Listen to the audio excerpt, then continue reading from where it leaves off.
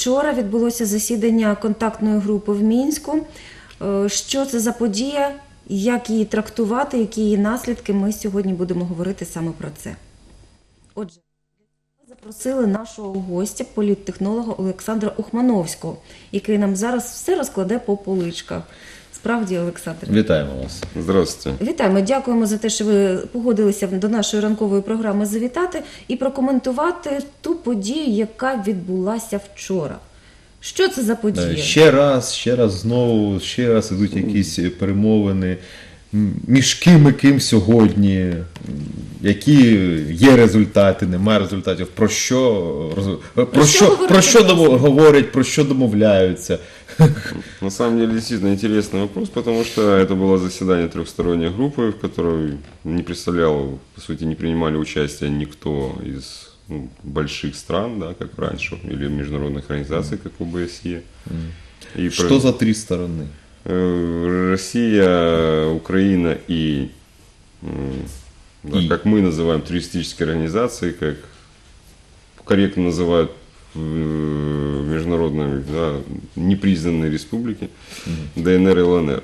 Давайте подивимось, у нас є коротенький звіт е, про те, як відбувалася ця подія. В пленарному засіданні контактної групи брали участь представники Росії, ОБСЄ та України. Пізніше до переговорів долучились представники так званих ДНР та ЛНР. Попередньо президент Петро Порошенко провів зустріч з українськими представниками у робочих підгрупах тристоронньої контактної групи Володимиром Горбуліним, Євгеном Марчуком, Яриною Геращенко та Ігорем Веремієм. Президент відзначив, що розпочато новий етап функціонування тристоронньої контактної групи. Після консультацій для роботи направлено досвідчених українських політиків. Координацію забезпечують представники ОБСЄ та міжнародних організацій. Глава держави наголосив на суворому дотриманні мінських домовленостей. Петро Порошенко заявив, що Україна була, є і буде твердим прихильником мирного врегулювання. Критично важливим є дотримання в ході переговорів послідовності та кроків з врегулювання ситуації на Донбасі, результатом яких має стати повна деескалація конфлікту. Важливим чинником є відвід важкої техніки та артилерії у відповідності із процедурою, яка зафіксована мінськими домовленостями і документами ОБСЄ. Мають бути зафіксовані кількість техніки, маршрути, місця зберігання та постійний доступ представників ОБСЄ для контролю. Наступна ключова позиція стосується беззаперечного звільнення всіх заручників. Це ось така офіційна інформація. А що ми про що ми можемо здогадуватися, як можна прокоментувати цю подію? На самом деле примерно об этом шла и речь. Кроме того, насколько сообщают опять же СМИ, есть информация о том, что были обсуждались некие экономические вопросы, и Пушилин радостно бил себе в грудь о том, что все классно. То есть о Что чем, о чем, Что да, вот, классно? к сожалению, ничего более подробных каких-то деталей да, нету, и это странно, потому что если прошлые минские встречи были достаточно широко освещены и детально, то, ну, правда, и ситуация была другая, то Ось сейчас це Ну, на зовсім сьогодні нова не информации нет. інформація. Ну, Я вчора шукала в якесь відео, якісь фотографії. Нічого, до вечора нічого не Интересно, було. что касается экономики, что на сегодняшний момент может обсуждаться. Есть стороны конфликта, да. А, Тем не менее, хотя конфликт идет, да, так или иначе, в том или ином состоянии, а, насколько, опять же, в СМИ есть информация, что а, так сказать, непризнанные республики торгуют якобы углем с официальной украинской стороной, то есть это экономические отношения какие-то. Что, э, есть у вас какая-то Ну, информация, они, можете э, поделиться? О чем мы экономические отношения есть, и мы слышим множество, да, и про контрабанду, и э, посты нашего известного николаевского журналиста Игоря Поха, вашего коллеги, да, о том, что пряники луганские, пожалуйста, в любом магазине. Э, Но это все, опять же, надо понимать неформально, контрабанда, незаконно и очень сложно. Э, То есть, естественно, террористам необходимо, жизненно необходимо э, получить финансирование пенсии, соцпособия и так далее. То есть, лиши- ну, то есть открытие э, экономических границ, да, снятие экономической блокады. То есть мы должны понимать, что это будет грандиозная победа ДНР ЛНР в умах своих, ну, жителей этих территорий. Ну хорошо, а о чем же шла все-таки речь более конкретно на Э, этих переговорах? К сожалению, информации пока что нет. Да? Вчера про- прошли события, но еще несколько дней, пока это все всплывет по неформальным каналам. Э, Я, я бы не стоил, ну, не стоит, по моему мнению, принимать близко вот, или серьезно очень эти э, встречи этой группы. как мне кажется, Почему? это, ну, это немножко такое замыливание глаз, э, потому что перед 9 мая каждая сторона должна рап- отрапортовать о своих великих достижениях. Это раз. Во-вторых, э, надо понимать, что Украине выгодны любые переговоры. Она показывает тем самым свою дипломатию, свою готовность к мирному диалогу. Это важно. Э, А России очень важно сейчас показать доброе лицо, потому что после того, как ее проигнорили де-факто все государства более-менее да, нашей планеты с э, парадом 9 мая и с встреча Меркель 10 мая Путина, э, несомненно, надо показать, что волк в овечьей шкурке и готов вот, поддерживать мирные переговоры. Скажите, касательно а, вот, э, создания каких-то иллюзий, да, и готовности Украины к диалогу, давайте поговорим немножко о сторонах э, этих переговоров, да, кто представляет в данном случае украинскую официальную сторону. Вот мы знаем, что это Леонид Кучма, да, Да, президент Украины и так далее, но а, в свете контактной группы он занимает какую-то сегодня, э, ну, мне немножко, наверное, не прислились информации, занимает ли он какой-то официальный пост, который дает ему, или он, э, так сказать, на добровольных началах это делает, э, то есть кто со стороны э, России выступал в этих переговорах. То есть немножко о сторонах вот это- это- этого процесса поговорим, кто эти люди, какие, на основании каких полномочий действуют, кто дает им, э, как бы скажем так, настановы, поручения, о чем говорить. И в, в конце концов, какой вес имеют эти переговоры, или это всего лишь С действительно, с каждой стороны, или это действительно общая иллюзия всех сторон.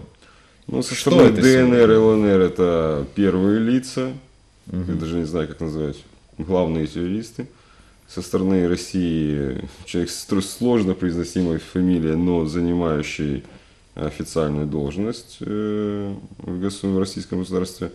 Но опять же, это надо понимать, это три- три- третьеразрядный человек. То есть это не первый, это не Песков, это не Путин и так далее. Ну, То понятно, есть да. фактически Россия признается стороной конфликта?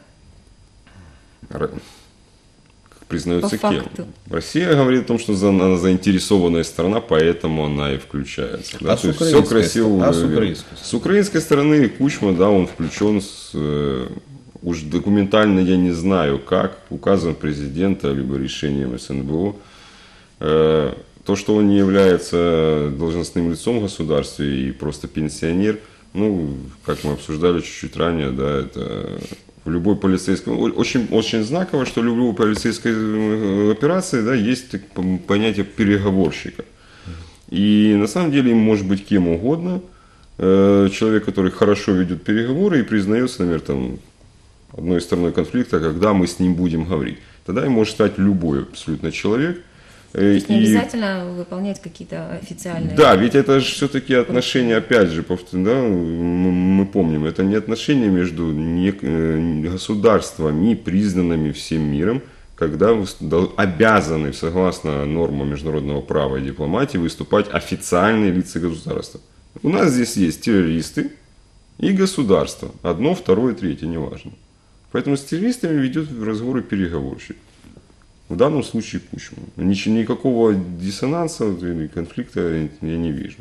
А скажите, вот то, что э, вот э, результаты и сам ход этой встречи оповит каким-то туманом, мраком, неизвестностью, о чем-то это говорит?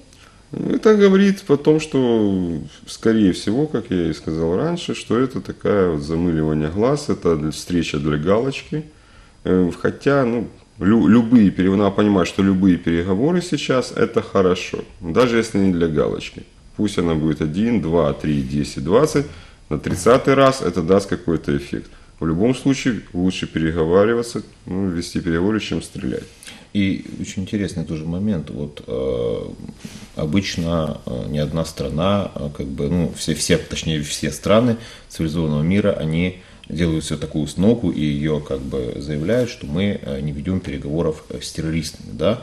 А здесь мы видим такой очень интересный вариант, что с одной стороны как бы вот там находятся террористы некие, да, какие-то, с другой стороны э, проходят встречи на международном уровне, э, там вот то, что минские договоренности, да, контактная группа, то есть получается, что либо, ну, по сути, такая интересная схема, да, получается, с одной стороны, как бы, там террористы с ними нельзя вести переговоры, да, с другой стороны, мы ведем с какими-то людьми какие-то переговоры, э, значит, что это не террористы или это какие-то другие непонятные люди, то есть, получается, очень, понимаете, очень много путаниц, вот хотелось бы немножко, э, как бы сказать, э, конкретики внести в данный вопрос. На самом деле никакого, опять же, ни- никаких проблем я не вижу, потому что Или это скачки терминологии? мы не ведем, мы, да, мы не ведем переговоров террористов, обычно подразумеваются некие да, группы из нескольких человек, которые взяли заложников. В данном случае мы имеем в виду, э, у нас э, сепаратское движение, сепаратистическое, не знаю, э, которое названо террористическим по методам ведения да, действий, то есть они занимаются террором. Э, И на самом деле с крупными террористическими движениями во всем мире ведут переговоры. Э, Это было и при, э, вспомните, югославском конфликте, это сейчас и на Ближнем Востоке. Э, Если есть возможность вести переговоры и решить конфликт местный, локальный, но масштабный, мирным путем, то любое государство старается это сделать. Опять же, не обязательно лично, США может с ИГИЛом, например, и не вести переговоры напрямую, естественно, это, не- это потерять лицо, но через посредников, через третьи государства, через авторитетных личностей в этом регионе э, всегда стараются наладить какие-то дипломатические отношения. И повторюсь, лучше переговариваться, чем стрелять. Это все понимают. Скажите, пожалуйста, можем- вот, вы, вот вы как э, специалист, видите ли вы перспективу у вообще переговорного процесса И по данным мы острым как-то вопросам? прогнозировать ситуацию Ведь дальше? речь идет о тысячах и миллионах жизней э, людей Донбасса И Украины. и Украины. Мы должны отдавать себе отчет в том, что переговоры, если мы говорим про ДНР и ЛНР, ведутся с марионетками.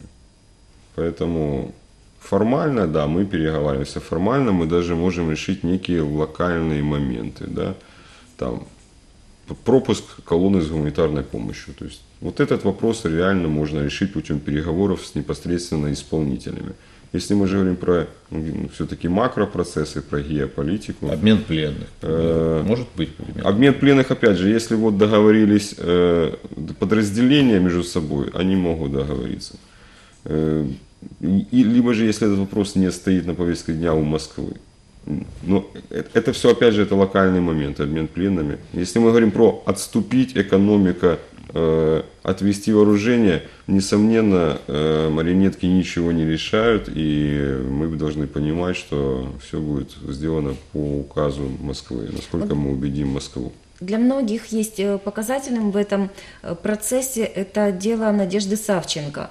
И вчера э, два судебных зас- заседания по ее судьбе, и ей продлили э, срок тюремного заключения и не позволили в больницу э, быть госпитализированной. Вот э, что-то мы можем прогнозировать? У нас всего две минутки остается, но вот как-то спрогнозировать затягивать, и ситуацию. вы не забывайте о том, что кроме Савченко там находится более 20 украинцев, и в Крыму сейчас идут уголовные процессы против, опять же, украинцев.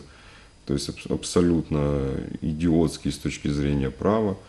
Э, Это, это заложники, несомненно, и их судьба будет зависеть от того, чем закончится конфликт на Донба- на Донбассе. Если побеждаем все-таки мы, мы додавливаем да, до какого-то украинского сценария развития событий, то, скорее всего, заложники будут каким-то образом освобождены. Но сейчас вот и, Это всё играет, и это спектакль. Порошенко, и американцы, там Бридлов и другие говорят о том, что вероятно очень серьезное наступление. Э, Как вы считаете? Так ли это? Или это Зачем это нагнетание некой, опять же, истерии? Они, Что дело это? в том, что не забывайте о том, что вс- все эти сценарии, они не придуманы, они были отработаны, в том числе в Грузии и не 2008 года, а еще начало 90-х. И как бы аналогии проводить можно. То есть русские действуют, э, чтобы вы понимали, тупо по одному и тому же сценарию. Они ничего нового не придумывают. Э, Поэтому, скорее всего, э, прогнозирование идет по, по аналогии да, с предыдущими событиями. Как я говорил еще в конце 2014 года, здесь у вас в программе «Контраргумент», по законам жанра мы еще должны увидеть еще одну трагедию. Иловайск был, Дебальцево еще одна трагедия должна быть, после чего начнется э, какой-то у нас э, подъем все-таки, ну, и, и, м, путь в лучшую сторону. Поэтому, скорее всего, э, будет еще какая ну, серьезная стычка, э, когда э, прогнозировать невозможно. Лучший показатель, как сказал один из моих коллег э, украинских, э, то, что, посмотрите, Украина вгрызается в землю, мы сейчас обороняемся, то есть мы сейчас строим оборонительные э, сооружения и к наступлению не готовимся. Поэтому, скорее всего, если и будет удар, то удар с их стороны по нам. Скажите, ну вы как опытный политтехнолог, да? А, Мы, да, мы понимаем, что а, есть действительно трагедия войны, а есть, как вы сказали, а, такие траге- трагедийные акты спектакля кровавого, да? Скажите, как вы считаете, можно ли их избегать? Цивилизованные страны избегают, потому что это невыгодно. Э, Нецивилизованные страны этого не избегают, э, потому что по-другому не умеют. Это тоже им невыгодно, на самом деле. Но по-другому они не умеют жить. Авторитарная система, тоталитарная система, она, к сожалению, ограничена. Она вынуждена использовать репрессивный э, и военный механизм, э, репрессивный внутри страны и, и, э, военный снаружи, для поддержания собственной системы. Это законы жанра.